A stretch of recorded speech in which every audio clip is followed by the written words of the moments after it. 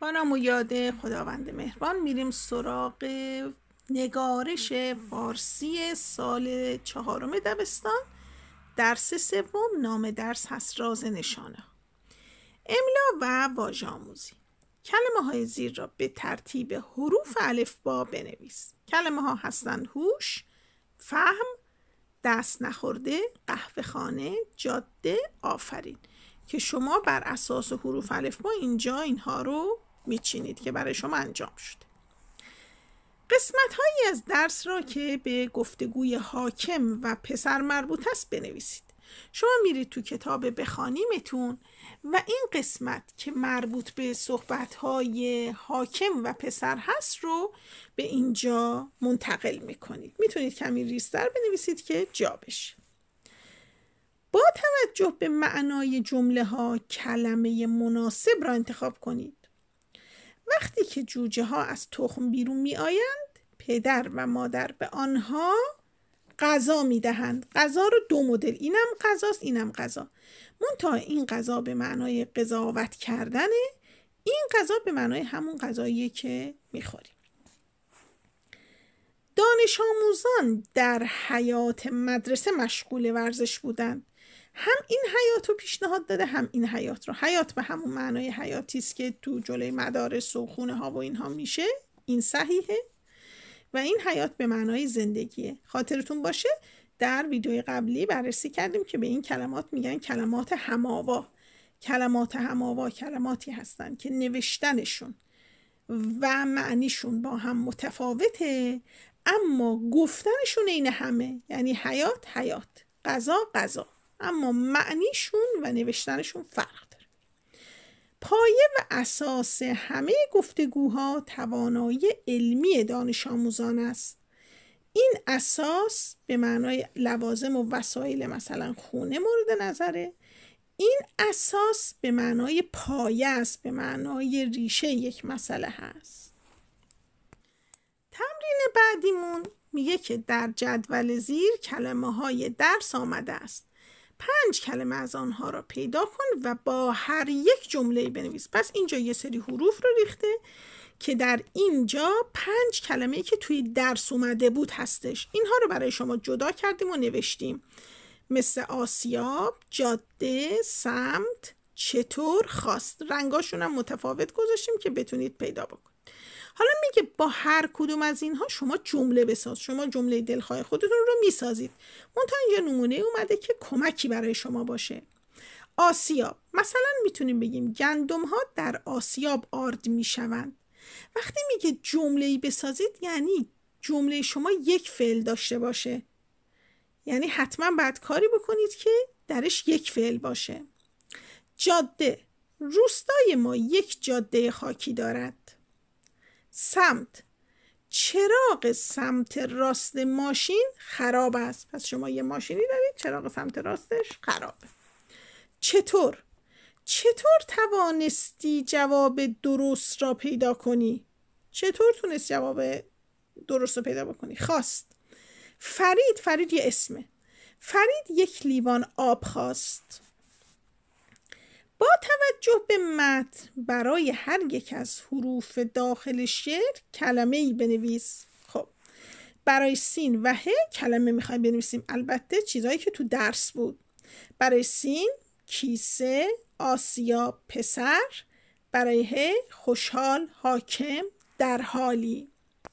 این قسمت هنر و سرگرمی است. میگه از روی سرمشق زیر خوشخط و زیبا بنویس.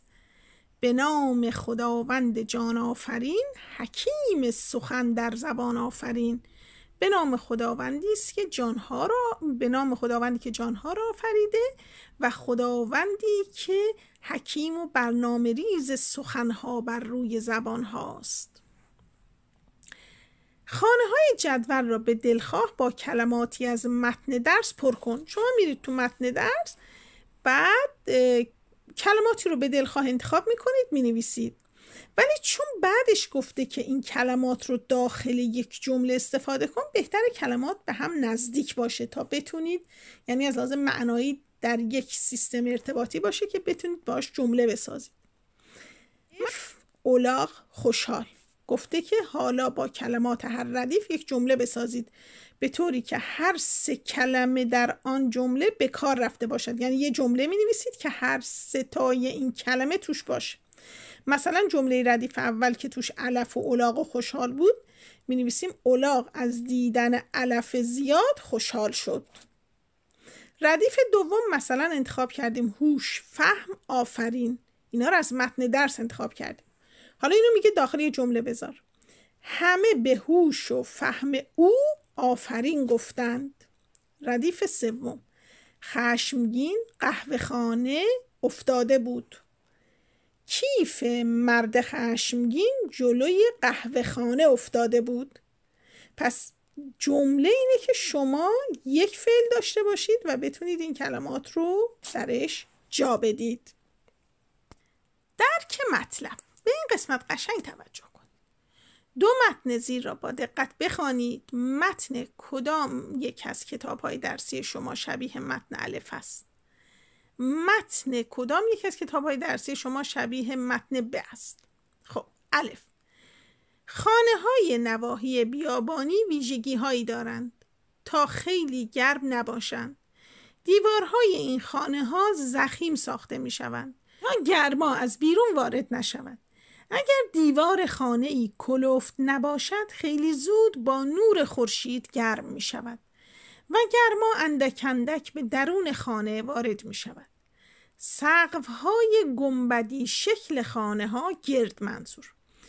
هم باعث می شوند که گرمای خورشید به پشت بام ها نفوذ نکند و از طریق بادگیرهایی که در سقف وجود دارد هوای خنک همراه با باد به درون خانه وارد می شود شما چنین متنایی رو تو درس جغرافیتون می‌تونید ببینید که در مورد موقعیت های خانه های مختلف در مناطق مختلف جغرافیایی ایران صحبت می‌کنه. متن کاملا علمی با مشخصات جدی داره یه سری اطلاعات رو به شما میده. حالا اینجا. قسمت ب. گنجشک و کبوتری با هم دوست شدند. تابستان بود و هوا گرم. کبوتر کمی میپرید و کمی دانه جمع می‌کرد. تا در زمستان بیازوقه نماند. اما گنجشک همش به فکر بازی و آواز خواندن بود و هرچه کبوتر به اون می‌گفت که به فکر زمستانت هم باش فایده ای نداشت. تابستان و پاییز رفت. زمستان آمد. سرما و برف همه جا را گرفت. گنجش که چیزی برای خوردن نداشت به سراغ کبوتر رفت و از اون کمک خواست. کبوتر گفت جیک جیک مستونت بود؟ فکر زمستونت نبود؟ این یه ضرب المثله میگه یعنی وقتی که داشتی تفریح می‌کردی و بخره خودت خوش میگذروندی به فکر روزهای سخت زمستانی نبودی؟ چنین متنی رو ما در فارسی و ادبیات می‌تونیم ببینیم. این متن متنی داستانی به صورت سخن گفتن حیوانات یعنی شخصیت های حیوانی مباحثی رو که مربوط به انسان ها هست دارن به ما متذکر میشن و یاد میدن. پس شیوه این دو با هم فرق داره. حالا میگه تفاوت تفاوت های متن الف و ب رو در جدول زیر بنویس. متن الف چجوری بوده؟ متن ب چجوری بوده؟ متن الف اینه و متن ب همین یک. ما میگیم متن الف علمیه اشاره به جغرافی های مناطق گرم سیری و نحوه ساختمان سازی در اون مناطق داره. بعد خیالی هم نیست و کاملا واقعیه. حالا این یکی متن متنی ادبی هست. استفاده از شخصیت, های شخصیت حیوانات در داستان انجام شده درش و خیالی هستش و از ضرب المثل هم استفاده شده. نوشته متنهایی مانند نمونه الف رو متن علمی میگن و متنهایی مانند نمونه ب رو متن ادبی میگن. نوشته قصه ای را در این درس خوانده یا شنیده اید؟ بنویسید. خب متن درس خودش یه قصه بود. میگه همین متن درس یا این قصه رو خلاصش کن و بگو. نشانه ها یکی بود یکی نبود. در روزگاران قدیم مردی اولاغش را گم کرده بود. در راه پسر بچه ای را دید و سراغ اولاغش را از او گرفت. پسرک نشانه های ظاهری اولاغ را که کور بودن چشم چپ و لنگیدن پای راست و داشتن بار گندم بود را به درستی به او داد. ولی گفت اولاغ را ندیده است. مرد مرد عصبانی او را پیش حاکم برد و پسرک اینگونه از خود دفاع کرد. من خوب نگاه کردم و اندیشیدم و از نوع رد پا و خورده نشدن علف های سمت چپ چپ جاده فهمیدم که پای راست او لنگ است و چشم چپش نمی بیند. و از دانه های گندم روی زمین دانستم که بارش گندم است. حاکم او را تحسین کرد و مرد عذرخواهی نمود. توجه. به جمل با جمله ها و عبارت های مناسب نوشته خود را آغاز کنید. نشانه های نگارشی را در نوشته خود به کار بگیرید. در نوشتن کلمه ها دقت کنید. یعنی اندازه فاصله اتصال شکل حروف و غیره. نوشته های خود را بخوانید و پاک نویس کنید. خب امیدوارم از این درس نوشتن و نگارش ما لذت برده باشید. شما رو به خدای مهربان میسپارم.